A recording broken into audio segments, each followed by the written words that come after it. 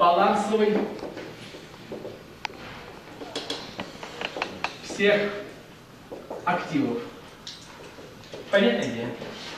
Мы говорим, ты что, мы сейчас так сделаем?